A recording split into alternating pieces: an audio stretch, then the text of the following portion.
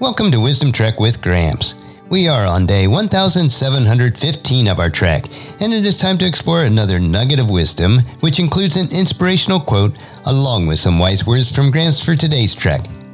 Wisdom is the final frontier in gaining true knowledge. We are on our daily trek to create a legacy of wisdom, to seek out discernment and insights, and to boldly grow where few have chosen to grow before. Hello, my friend. This is Gramps. Thanks for coming along on today's trek as we increase wisdom and create a living legacy. We are told in Proverbs chapter 16 verse 16, how much better to get wisdom than gold and sound judgment than silver. If you apply the words that you hear today, over time, it will help you to become more healthy, wealthy, and wise as you continue on your daily trek of life. So let's jump right in with today's nugget. And today's quote is from Barbara Johnson, and it is A good way to have the last word is to apologize. So today's snippet of wisdom is the last word. I think that most of us would like to have the last word in a conversation. What that usually means is that we want to be right at the expense of the other person.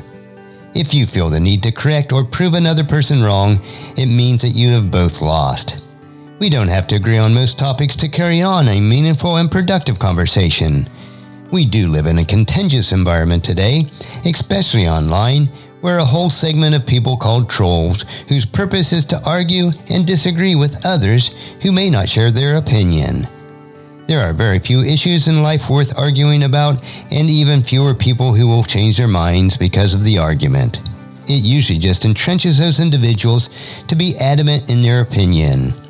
Instead, we should love others and be concerned about their well being. We do not have to win an argument or try to prove that we are right. As long as we are right with God and at peace that our thoughts and opinions align with God's precepts found in His Word, that is all we really need. If we must have the last word, let it be to apologize for when we have been offensive and have spoken inappropriately. And we have a couple passages for today. The first one is Colossians chapter 4 verses 5 and 6. Live wisely among those who are not believers and make the most of every opportunity. Let your conversation be gracious and attractive so that you will have the right response for everyone. Now, the Greek word gracious and attractive here means and seasoned with salt, which reminds me of Matthew chapter 5 verses 13 through 16. You are the salt of the earth. But what good is salt if it has lost its flavor? Can it be made salty again? It will be thrown out and trampled underfoot as worthless. You are the light of the world. A city on a hilltop cannot be hidden. No one lights a lamp and puts it under a basket. Instead, a lamp is placed on a stand and it gives light to everyone in the house. In the same way, let your good deeds shine out for all to see, so that everyone will praise your heavenly Father. And as you ponder this nugget of wisdom for yourself, please encourage your friends and family to join us and then come along with us tomorrow for another day of Wisdom Trek, creating a legacy. If you'd like to listen to any of the past 1,714 treks or read the Wisdom Journals, they are all available at wisdom-trek.com.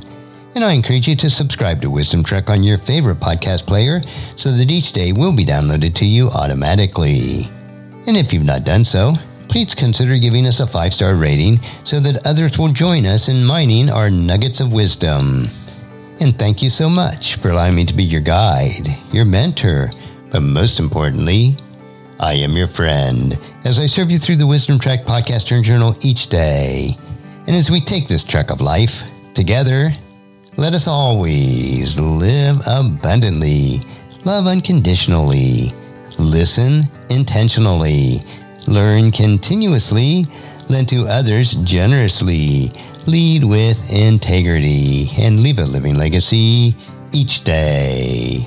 I am Guthrie Chamberlain reminding you to keep moving forward, enjoy your journey, and create a great day every day. See you tomorrow for more daily wisdom.